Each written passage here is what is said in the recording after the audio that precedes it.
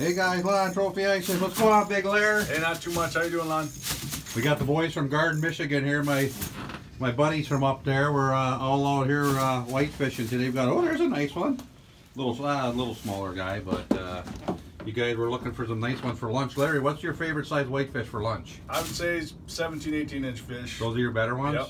What do they do with the bigger whitefish then? What do they use them for? They do a lot of smoked fish with them. They Yeah. do. Uh, they fillet a lot of them. A lot of people in the restaurants like them bigger fillets. Yeah. Where do most of your fish in the fall go up there on Big Bay de Noc when you when you get them in the trap nets? Mine go to New York actually. Okay. They, uh, uh, Bay Shippers comes in. They uh, take them to New York and then they just they, they fillet them. They smoke them. They, they do all kinds of stuff with them. And Well, they're big in the restaurants in New York then. Huge. They're huge. So whitefish is really good all over the country or all Oh, over yeah. the world. I mean, my fish go to Canada. They go to New York. They go to Chicago. They go to Washington. Yeah. I mean, they go all over, but the majority go to uh, New York.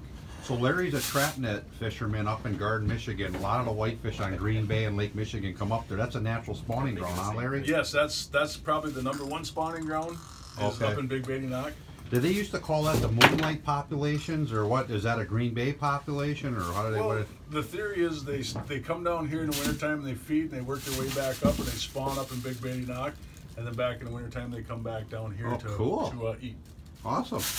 So we're getting some nice fish here. The boys are just getting going here. Larry, how many did you missed already today? I missed at least fifteen. This- Fifteen, and he's caught a couple. So you better get your streak going. I'm going to leave you guys alone. But Lon, Green Bay Trophy Fishing. We got the Garden Boys, Garden Michigan, my buddies. And oh, Larry, I've got to tell you, I got some really good bass fishing up there this year. Yeah, I, I saw the I saw that show with you and Larry Smith. That's good, good. Well, time. thank you guys for helping me out, and we look forward. I got to ask you a question. Has there ever been anybody that's gone 100 miles an hour across on the ice with their truck before? Just me. You've gone 100 miles an hour? I thought I did No, too. I lied. Ninety-seven. She shut off at ninety-eight. So. Oh, okay.